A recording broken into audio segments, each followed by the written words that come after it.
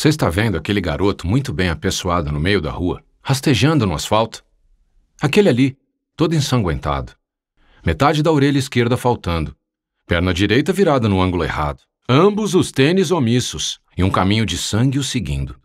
Aquele ali, implorando pela ajuda da avó, ou da prima, ou de qualquer um, por entre os dentes travados de desespero. Está vendo ele? Pois é, esse aí sou eu. Kaito Mupara Yukimura. Ou só Kaito.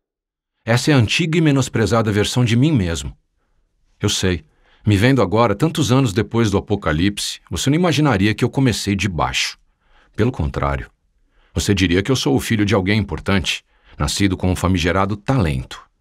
Olhos estreitos e vigilantes de um grande samurai. Corpo robusto e valente de um herói zulu. De forma alguma. Não tive berço de ouro. Eu comecei do mesmo buraco que você, na lama e na loucura, como qualquer azul.